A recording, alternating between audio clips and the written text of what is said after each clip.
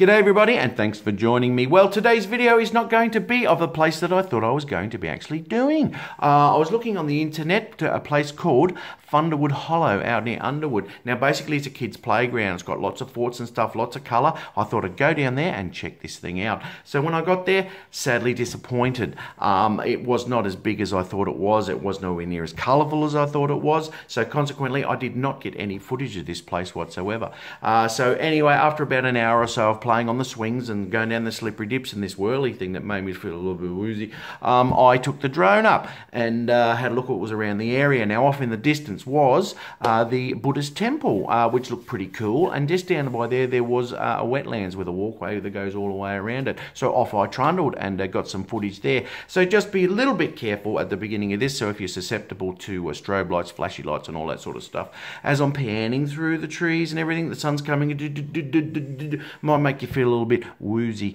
Uh, so anyway, please enjoy the footage of uh, the wetlands that I have here and a little bit of the Buddhist temple off in the distance. Uh, and have a great weekend, have a great day, and uh, I shall see you on the next one. Ciao.